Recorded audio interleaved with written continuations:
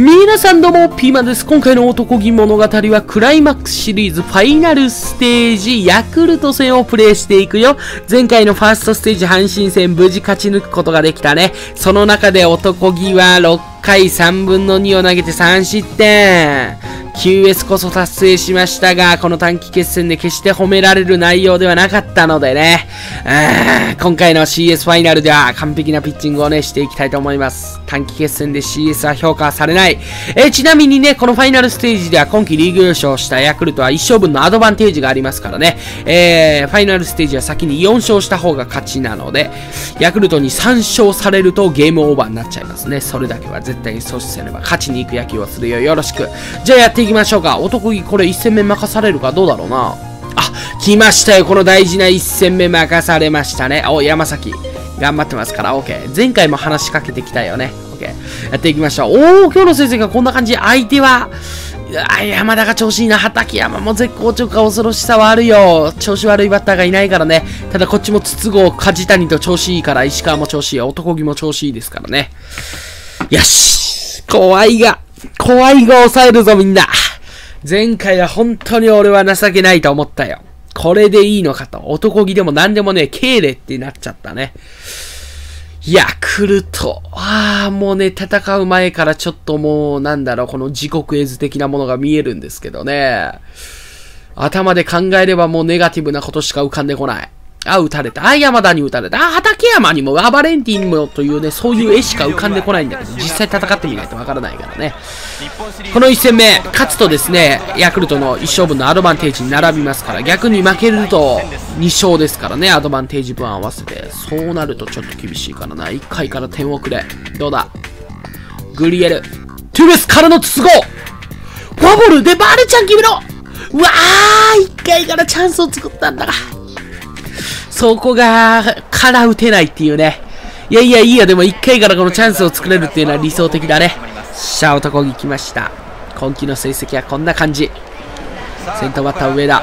この上田はね、えーと、この男気物語9月10月の月間 MVP を獲得してますからね。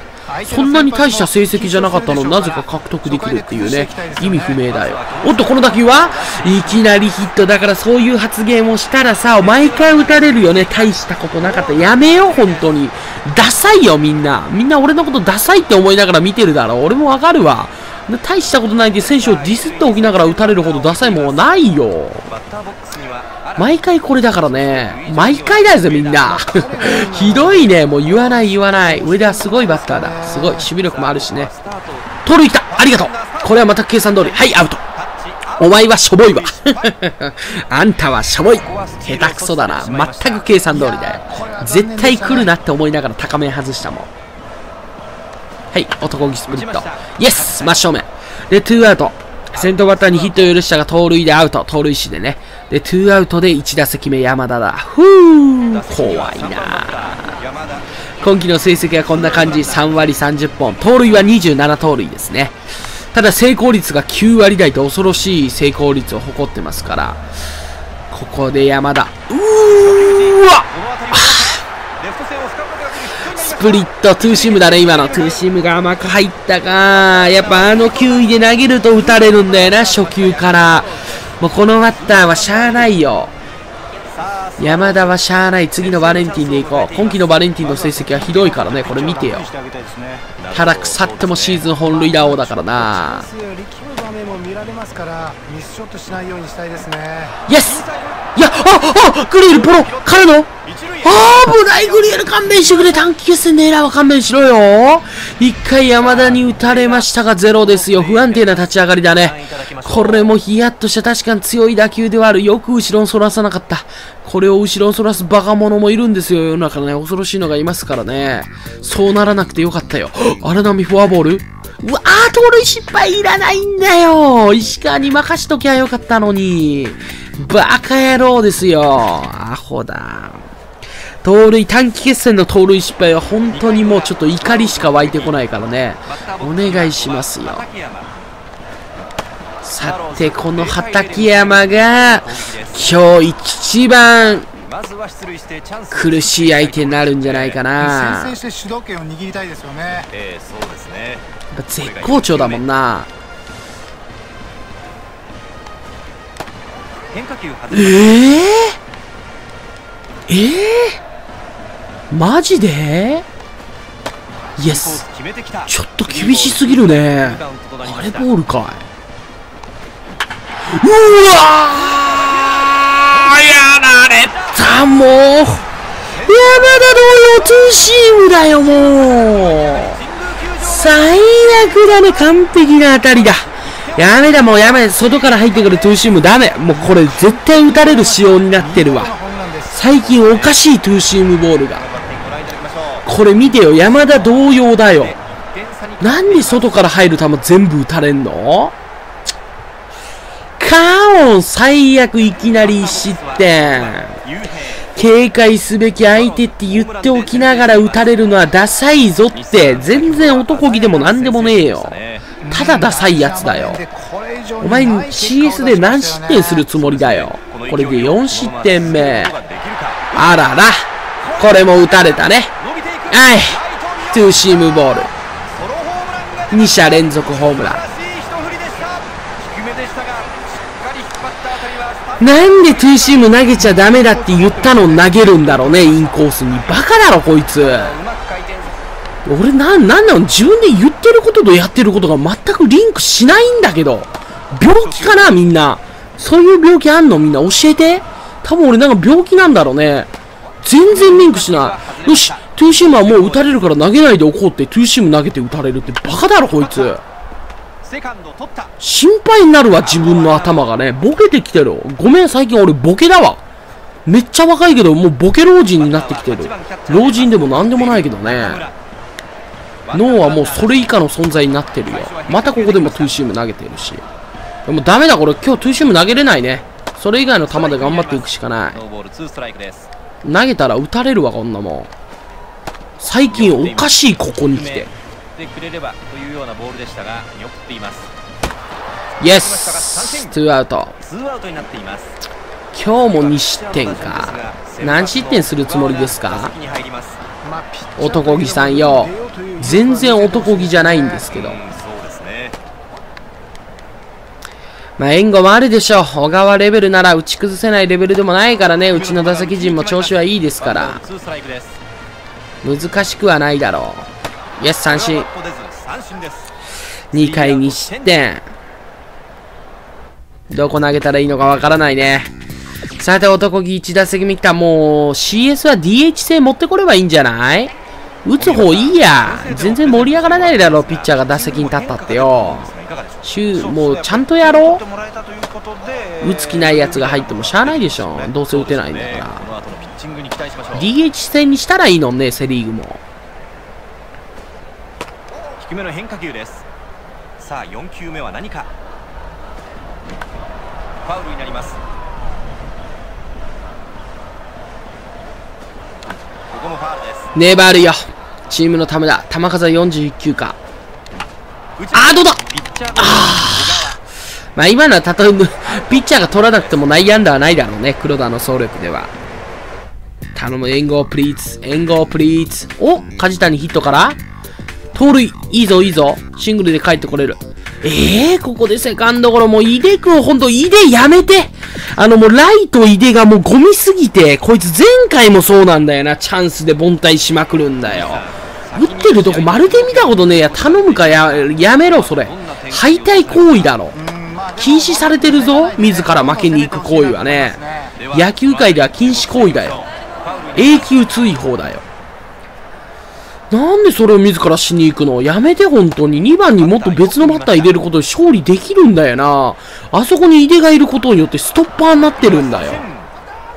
得点圏で凡退しまくるっていうね。悲しくなってくるよ。さて2番この荒木2番1番で塁に出すわけにはいかんからね本物の敵は山田バレンティン後ろにいる正直今季のバレンティンに関してはあまり怖さはないからね幽閉や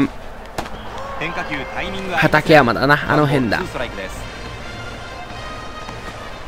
イエス三振ツーアウト。フー来たよ山田2回戦。山田2回戦抑えれるか先ほど。ああまたツーシーム投げてる。バカだね。ダメダメダメ。これはボール。投げるとしてももうボールからボールになる球だね。ストライク投げたら打たれるわ。うわストライクが入らないっていう何なの？何なの？何なの？何なの？塁に出した盗塁あるよ。長打浴びるよりかはいいか？よし！ありがとう。外すら手出したね。山田らしくないじゃない。いやこれはもう儲けもんだね。ノーストライク。今のもスライダーボールっぽいけどね。いやいや逆に良かったんじゃないかなそれが。よしいいぞ！来た来た来た来た来た！まずいってまずいって！ナイス！ナイス！まずいって！まずいって！カモカモカモ！まだまだ行こうイエスイエスイエスイエスイエス同点同点。これで男気の負けは消えた。そしてジエンゴと行こうよみんな。ツーアウトランナー二塁。ここで勝ち越し男気かもいいだろう。男気の手でお前。勝ち越したろうやないけ。大丈夫？打てるぞおい。他ミート打ちだね。でももう打てるぞおいってなんだ。全然打ててないぞおいここは決まりました見逃し三振ですこのピッチャーであれ打てるわけないよねないよねだろうだいやいや、チーム同点に追いついてくれました。ありがとう。ほんとチームに感謝だ。素晴らしい。筒香バルディリ最高の流れだね。さて、同点に追いついてくれた次のイニング大事になるぞ。ここで無様にまた点を取られるのか。そういうわけにはいかんだろう。もうそんな情けないピッチングはしないよ、俺は。男気はね。よっしゃ、外すら振って、まずは出塁してチャンスを作っていきたいところですど真ん中。ではないが失投だね。危ないが、あの球投げちゃダメだ。6球目のツーシーム。コース的にはそん、甘いのかな。球威がなかったからね。球威がなかったあのコースに投げれば、そら打たれても文句は言えないでしょう。それで絶好調ですからね、今日。ま怖い、ここでまたホームラン打たれたらなと。流して。フェアかい。シングルシングルシングルシングルで止めよう。入れ止めてくれ。入れ止めろ。入れ止めろ。止めれないか。ワンアウトランナー二塁ですわ。いやもう今日に関してはフォアボールでいいね、うん、勝負するのがバカらしいわこれ。絶対抑えれないわ。どこ投げても打たれる仕様になってるね。そうですよね。外投げれも打たれ外投げれば流されホームランにされもう無理だわチャンスを迎えています。今勝ち越しておくと、この後のベンチの采配にも。うわー抜けるんかい。俺はもう巨人の守備に慣れてるから今坂本なら取れてたと思うんだけどね。たらればの話をしても仕方がないんだけどおいおいピンチを招いている。ここでアベレージヒッター持ちの川端とかどう抑えるんだよ。はいありがとうもう最悪だねチームが同点に追いついてくれた中その後のイニング打たれる男気これで CS2 試合連続3失点全く評価するとこがないよ。最悪すぎるねこれ見てよ。初球ストレートだぜ。ベストピッチ低めこれ以上にない球だろ。これ打たれたらじゃあ逆にどれ投げるんだよ。どれ投げるのが正解なのか教えてくれよみんな。選択肢はどれなの？4輪となっています抑えれないが選択肢なのかな？悲しくなってくるねほんと情けないわ。もう何試合連続でクソみたいなピッチングさらしてんのよ。自援護させるわけにはいかんよ。これ以上の点差開けられたらゲームオーバーだ。ファウルボールです。さあ2球目は何か？ほんとムカつくこねれで追い込まれました外の球打ったファーストが抑えたはい抑えましたよ。抑えてはないんですけどね。腹立つわ本当にムカムカするね。援護プリーズ援護プリーズ援護プリーズグリエルここで打てない。バルちゃんはどう？お！おあ満塁荒波セカンドフライっていうね。っているわけですがこの試合展開をどうご覧になりますか？うんまあ緊張感のあるね、いい男気以外のピッチャーが今日マウンドに立ってた。今日は勝ってるよチームは間違いなくね。男気だからみんな負けてるんだぜこれ。情けない話ですよ。タイトルが男気でリーグ優勝に導導けって書いてんのにさ。全然導いてない。むしろ足引っ張ってる。ここに来た足引っ張り出すっていうね。大事なとこで打たれるピッチャーゴミピーに貸してるよ。なってるよ。何なんだこいつ。誰だよ。呼んだやつ誰だよこいつこれ全然男気でも何でもねえよ邪魔で仕方ないわ送りますサードが取る一塁へバント成功、ワンアウトランナー二塁、ここで山田。となりましたいやー、無理だな。あいや、もうここは敬遠だね。勝負していかない。無理無理無理。まあ点差は何点あってもいいわけですから取れる時にどんどん取っておきたいですねなるほどそうですね次のバレンティンと勝負に出ることにしたよ、俺は。バレンティンゲッツーだね。外れバレンティンでゲッツー取る自信の方がある。え山田を抑える自信よりもね。は4番のバレンティンがはい、打たれた。がファール。ふううん中途半端なバッティングで閉鎖するのだけは避けたいですねなるほどこの打席のええあい、これも打たれる。調子に乗って。調子に乗った結果これっていうね。はい、4点目。はは、情けない話ですよ。非常にね。ごめんね。CS 負け決定だ、こら。無理だ。情けない話だよ。バレンティンを抑える自信、ゲッツー取る自信があるって言っておきながら打たれるってもうどういうことよ。流してもう、おかしいだろ、もうなんなの。ベストピッチ低めのスライダーが打たれたらもうどこ投げたらいいのよ。高め投げたらこれホームランでしょ ?5 失点。変えておくれ、中畑監督。もう抑えれません、このゲーム。鬼畜ゲート化してるよ、もう。ここまでこんなことなかもうボールとかありえないじゃん。もうこれでボールだぜ、みんな。もう目見えてない人が審判してんだろ。面白いね。そんなやつが審判するなよ。なんでこんなやつに金払ってんだよ。バカかよ、この日本プロ野球界は。あー、もう泣きたくなるね。6対2だ。終わった。負けだ。変えてくれ。これ以上恥さらしに使うな、中畑。やらしいぞ、てめえ。いいだろ。ほらね。スプリットまでも打たれ出したら本格的に終わりだよ。普段絶対に打たれない球がね、この CS に来て打たれてるっていう意味不明な展開。なんで普段打てないの？をここで打てる逆だろ4点をリードしなおもリード普段打って CS で打つのはわかるよ。普段打てないのなんで CS になると何その謎なパワー？アニメじゃねえんだ。ドラマじゃねえんだ。そんなパワーあるか、ボケ？少し考えろ。全然リアルじゃないわ。リアルさゼロ。もう変えてくれ。こんな試合投げたくない。もういいで、いいです、いいです。もう負けでしょ、こんなん。終わりですよ、みんな。はい、えーこれで男気物語は終了です。ここで終わり。もうない。もうない。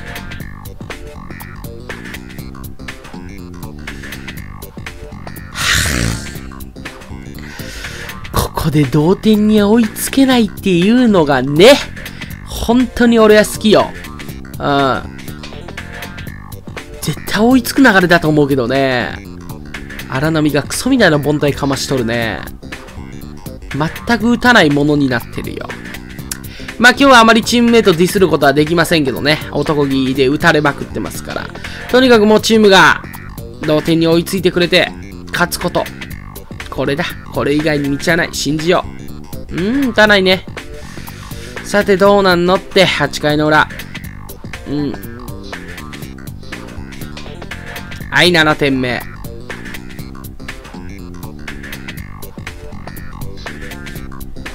2点差の中9回の表の攻撃ですよ。バルディリスからさん。はい、セカンドゴロ。はい、ゲームセットありがとうございます。男気大事なね、CS ファイナルステージ第1戦目任されましたが、結果虚しく6失点。あー、もう僕は無理。えーもう早く変えてもらって結構でしたね、今日は。うん、中田監督、ありがとうと伝えたいです。あれで6回まで行ってたら、本格的にゲームのスイッチ消してまたやり直してたでしょうね。今までそんなことやってきてないけどね、多分やり直してたと思う。初めてね。うん、あ、皆さんどうも、はじめましてって言って、またやってたと思う。なかったことにして男気物語をまた最初から始めようとしてた自分もいると思うよ。いや、もうしゃあない。もう今日はどこ投げても打たれる。もうここ最近これ全部これ。スプリットも打たれ、スライダーも打たれ、低めのスライダーをもう流され流されですからね。もうこれはもう抑えようがない。もう積んでいる。考えていくべきかもなじゃねえんだよ。てめえ男気の力でここまでここまで来れたんだろうが。ふざけんじゃねえぞ。男いなかったらここのここまでなってねえだろ。感謝しろ、ここまで来れたことを。そして別に俺は CS で大炎上したことも謝らないっていうね、男気ありきで来たんですから当たり前でしょ。男気がいなかったらここまで来れてないんだから当たり前の話ですよ。さて、アドバンテージ分の1勝と、えー、先ほど負けた1勝を合わせてここまでヤクルトは2勝ですね。第2戦目、この試合負ければリーチをかけられますが、どうでしょうかね。どうせ勝てないだろう。うん、チームは勝ちましたね。まさかの展開。10対6。まさかの打ち勝つというパターンですね。はい、これで、えーと、CS まず1戦目、ファイナル1戦目ですね。勝利。1勝目ね。うん。ただまだだよ。次負ければリーチかけられるわけだからね。ここからのないか。ここからの最高の展開はないのか。期待するぞ。ヤクルト。負けるなよ。どうだ？イエス今日も勝ったこれで並んだねはい、同率になりましたよ !6 対 3! まさかの展開続いてるね男気いない方が横浜強いっていう、もう出なくていい。男気は出さなくていいぞ、中畑。出さなくていいね。必要ないわ。男気いることで無縁5秒だわ、これ。おかしいでしょ。急に打ち出してきたもんね。そうだもんね。男気が降りたら打ち出すもんね、このチーム。そうそうそうそうそう。さてどうだ ?3 し、3戦目。ここまで。あ、4戦目ね。2勝2敗ですからね。今日勝てばリーチかけれるぞ。どうだ？うわーここで6対1横浜らしいな。この流れでこの点差食らうっていうね。やばい相手にリーチがかかりました。次負ければ男気物語終了となります。勝てばまだ続きますがね。どうでしょうか。第5戦目になりますね。頼むよ。今日の先発は誰だ、うん、えっ！5000の男気に任す？え？マジで？来ましたね。OK、じゃあ今回の実況はこれにて終わりだ。はい、この大事な大事な5戦目を男気任されました。負ければ、終わり。勝てば、次につなげる。そしてその次勝てば、日本シリーズへ。わーお、来たね第1戦目、この大炎上の流れから、5戦目をまさか任される形で、OK、いいでしょう。今回の実況はこれでとりあえず終わりにしたいと思いますのでね、次回 CS 第5戦目登板予定でございます。男気最高のピッチングを見せることはできるか。最後に男気を見せていこう。ほんとここまで CS ひどい結果が続いてるからね、2試合に登板して9失点、投げたイニングは11回で9失点だからね、もうゴミピーと化してるよ。間違いなくこの短期決戦に弱いとこが存分に出てますが、次回は最高のピッチングをしていかないとね、お楽しみに。グッバイ、またおう。